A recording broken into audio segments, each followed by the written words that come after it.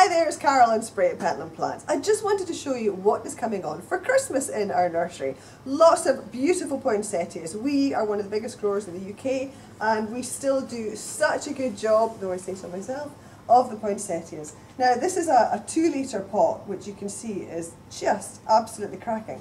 Um, these are not quite ready yet. Some of the smaller ones are available in the next week or so. And then all the colours will be coming on. We do whites and creams and variegated and some crinkly ones. Lovely, beautiful varieties. They're going to be near the end of November. This is the one and a half litre, which again is a big, beefy plant. Um, really lovely, beautiful ones. Much better than the supermarkets.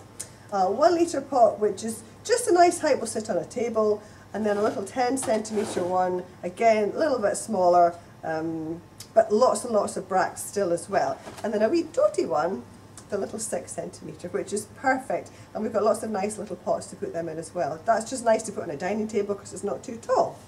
And if you want something really big, well, we do a bell pot as well. We put three, three big plants in a big pot, and that's uh, a bell pot.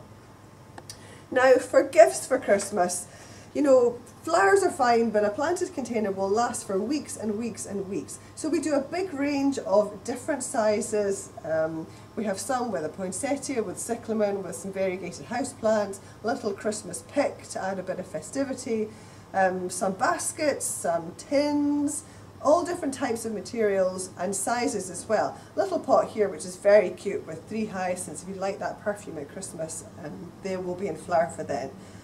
If you just like cyclamen, we do one with only that, and then we do mixed ones, again in a slightly smaller size, and then we put the little mini cyclamen and mini poinsettias and the very smallest ones at the front. So basically we're looking at, they're going to be selling between about £10 and £20. 10, you know, £10 for the smaller ones, £20 for these much, much bigger ones. But when you consider they'll last for a long, long time, I think they're really good value.